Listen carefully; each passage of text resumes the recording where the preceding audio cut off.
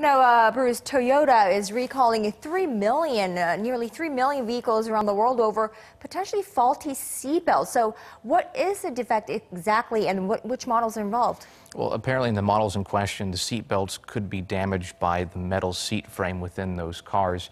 Toyota's received two reports in which rear seatbelts were actually severed during car crashes. The company says the recall involves its RAV4 SUV model produced between July 2005 and August 2014, sold around the world, and its Vanguard SUV model produced between October 2005 and January 2016, sold only in Japan.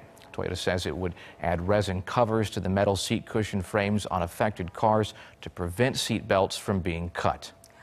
Bruce, uh, give us some sense, so uh, some scale as to the size of this recall. Okay, this is definitely a big recall, nearly 3 million cars, but it's not the biggest. Uh, Toyota in 2009 recalled more than 4 million cars for an acceleration issue, and then in 1980, Ford Motors actually recalled 21 million cars because they were slipping from park and into reverse.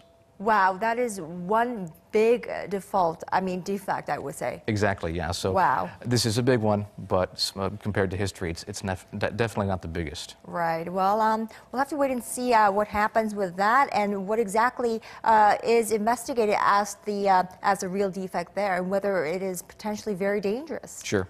All right, Bruce, thank you so much for that. My pleasure.